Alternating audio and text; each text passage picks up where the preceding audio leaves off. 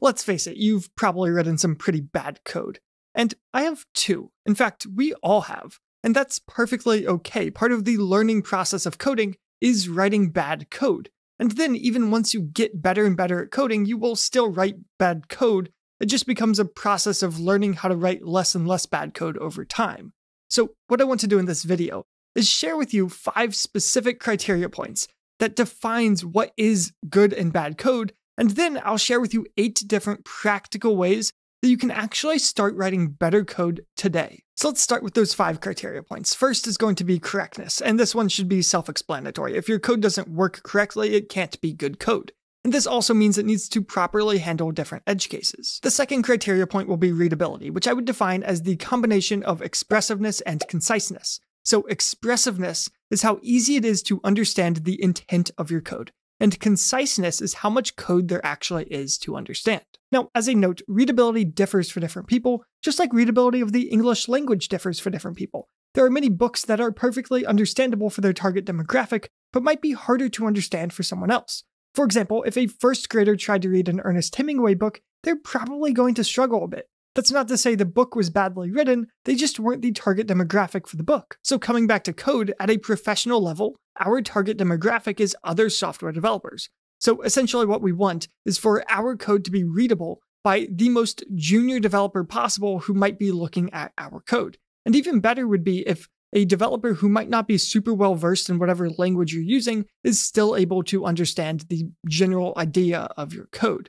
And don't worry too much about this quite yet, we'll look at some specific examples in a moment. The third criteria point is testability. Good code should be testable code, and this usually goes hand in hand with correctness, because in order to verify that code is correct, you usually need to be able to write tests for it. Fourth is maintainability. Your old code should not restrict your ability to write future code. So, for example, if a project manager comes up to you with an idea for a new feature for a product you launched a year ago, the code you wrote a year ago shouldn't restrict your ability to write that new feature. Similarly, when it's 2 a.m. and the system fails, your on call should be able to quickly and safely modify your code if it's necessary to fix whatever outage they might be dealing with. And fifth is going to be performance. Good code is performant code. The faster your code runs, oftentimes the better user experiences you can create, and the more money you can save in the form of computing power.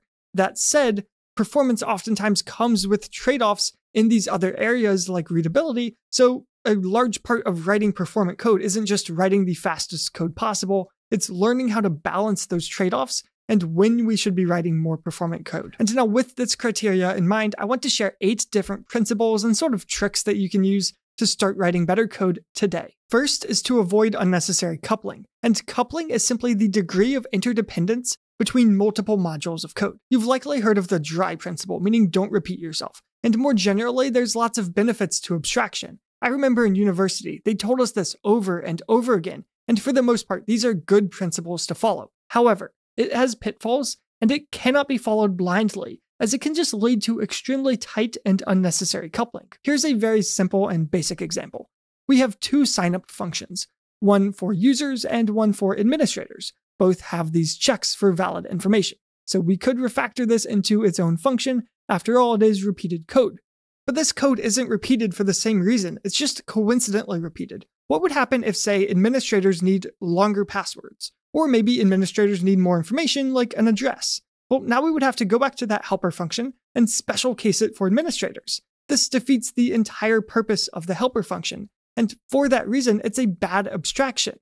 This isn't making the code better, it's just making it harder to maintain. So remember, don't repeat your code, but don't repeat your code for the same reasons. If code is just coincidentally the same, it can be repeated, leave it be. And if code is likely to need to differ in the future, then again, just leave it be and let it be repeated. The origination of the dry principle was in the book The Pragmatic Programmer, and it stated every piece of knowledge must have a single, unambiguous, authoritative representation within a system. Note that this does not say code should not repeat. It's about knowledge not being repeated. Knowledge. Good dry code means that if you change some part of the codebase, it's not going to have a ripple effect on some other unrelated part of the codebase.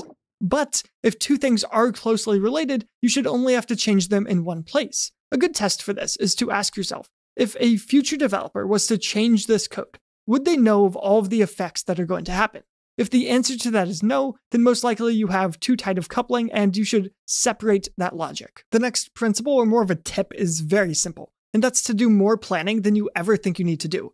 Most of us have fallen into that trap of just sort of trying to figure it out as we go. And this is not a good approach to coding. Coding is just the process of describing something to a computer. It is the implementation of an idea that you already have defined. If you don't have that idea ahead of time, well, then you've pretty much just skipped a step. That's not to say that you need to have every little aspect of everything planned out ahead of time, because you shouldn't do that. That could be a waste of time.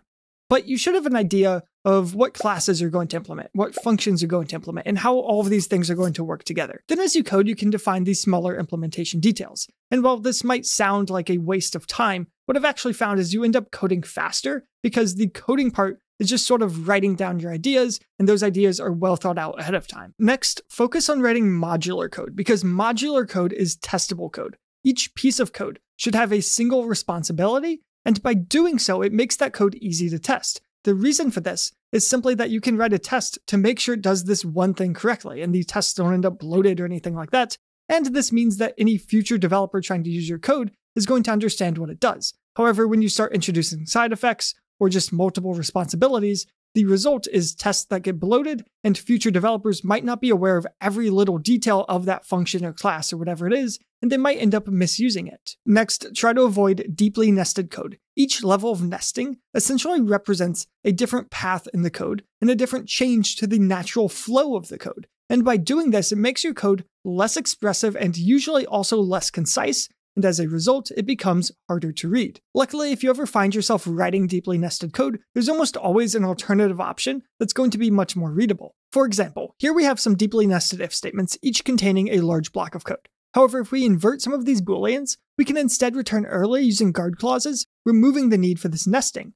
Alternatively, in this example, we can take this deeply nested code and move it into a helper function. This essentially allows us to reset the level of nesting for that helper function, and with a good name, we can make the code much easier to follow. The next principle is to avoid over commenting. And really, I would argue that you should almost never write any comments. A comment should be there to describe code that's otherwise not obvious, because otherwise the comment is likely just redundant with the code itself. So therefore, we can say that comments almost always appear by non-readable code. Now, sometimes this is just how things need to be. Sometimes you have some complex logic that just needs to be the way it is. But many times, if you look at this code critically, you can see ways that you can just make the code more expressive and therefore not need the comment. Sometimes this means reworking the logic a little bit. Other times it can just be changing some variable names to make it more clear what everything is doing. A good way to put this is don't comment on bad code. Instead, just write better code. Next, I have a bit of a controversial one for you, and that's that performance just isn't that important. Most of the time. Performance only matters if it can actually have a meaningful impact on the product. If it doesn't have that meaningful impact, then instead you should focus on other things like readability. This is particularly true with micro optimizations. If you can make something an order of magnitude faster, well, that probably has a meaningful impact on the actual product. However, micro optimizations, on the other hand, usually don't have these meaningful impacts. These are things like replacing otherwise good code with less expressive bitwise operations because they're a little bit more efficient, or maybe removing functions altogether because you don't want to have the cost of creating and invoking those functions. There's a time and a place for these micro optimizations, but just understand that most of the time it doesn't matter, and it's going to depend on context. Understand the context of how your code is going to run, and you can use that context to decide if it actually matters in your specific case. And also realize that many of these micro optimizations can be done automatically by a good compiler anyways, so oftentimes you're just making code less readable to get the same result. For example, this is even function is one I showed in a short. The idea is simple. We don't need all of this nesting. This if condition is a boolean, and we return true if it's true, otherwise we return false. That's the same as simply returning the boolean. So the point of the video was that returning just the boolean is more readable as it has the same expressiveness, if not better expressiveness because you don't need to follow the if branches, and it's more concise. Many of the comments, however, began to point out the performance differences, because if branches are usually less performant. But in fact, the compiler outputs the exact same thing regardless. Others pointed out that we can use bitwise operations instead of the modulo operator, and it will again become more efficient. But again, a decent compiler will optimize this out, and we get the exact same result but just with code that's harder to understand, as most people aren't very good at reading bitwise code. And now you might be saying, well, not all code is going to be compiled in a way that leads to these micro optimizations. And yes, that is true. However, if you're writing code in a context that doesn't lead to these micro optimizations automatically, most likely you're writing code in a context where the micro optimizations don't matter anyways, and instead you should focus on readability over these micro optimizations and performance. Next, I want to look at some code smells. A code smell is simply an indicator that code might be flawed. And there are many of these, but here's a few of the ones that I think are most important. All variable names should clearly indicate a purpose as well as a type. So, for example, the name G would be a very bad variable name because I don't know what it does. However, the name game over would be much better because it tells me that this keeps track of if the game is over or not. But then the name is game over would be even better than that because the is prefix very clearly at first glance indicates that this is going to be a boolean, which just makes it a little bit easier to read the code. Avoid magic values like magic numbers and magic strings. These are values that appear in your code as just hard-coded values without any explanation for why they're there, and as a result, it can be hard to understand that code, and a future developer might not know what those values actually mean. If a function's parameters keep growing or it's just a very long function, then that function is likely violating the single responsibility principle, meaning it's probably doing too many things. So when this happens, evaluate the function and see if it should be split up. And if you decide it shouldn't be split up, then another thing to do is to look at those parameters and see if they should maybe be an object instead of multiple parameters, because they might be multiple different parts of the same thing. Another way to ensure code maintainability is to properly handle bad inputs. You might know how to use the function you write correctly, but that doesn't mean that somebody two years down the line is also going to understand the intention of the function correctly.